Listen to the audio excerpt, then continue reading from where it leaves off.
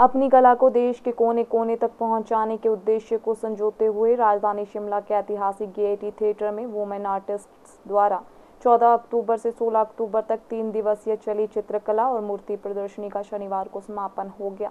प्रदर्शनी में हिस्सा लेने पहुँची कोलकाता की रश्मि दुगड़ ने बताया कि उन्हें शिमला में बहुत अच्छा रिस्पांस मिला है और लोगों ने उनके कार्य को सराहते हुए उनसे पेंटिंग भी खरीदी है जिसकी उन्हें बेहद खुशी है। आ, मैं रश्मि दुगड़ हूँ। मैं कोलकाता से हूँ। हमारी यहाँ पर वुमेन्स की ग्रुप एग्जीबिशन आज और तीन दिन की थ्री डेज़ एग्जीबिशन थी।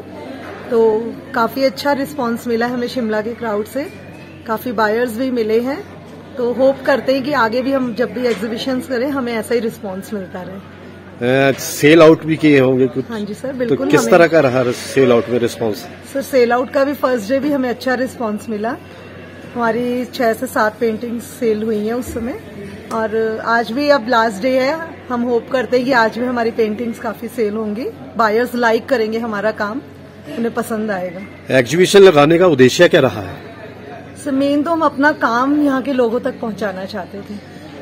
इसीलिए हमने यहाँ पर एग्जीबिशन ऑर्गेनाइज करने का शिमला के अलावा और कहाँ कहाँ लगाते हैं आप? शिमला के अलावा हमने अमृतसर में लगाई है पंजाब में पंजाब अमृतसर में धर्मशाला में भी हमने अपनी एग्जीबिशन लगाई है।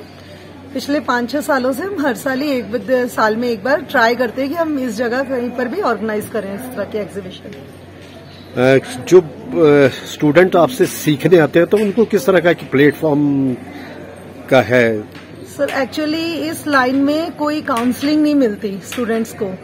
तो उन्हें right way to right career वो गाइडेंस काफ़ी अच्छी मिल जाती है।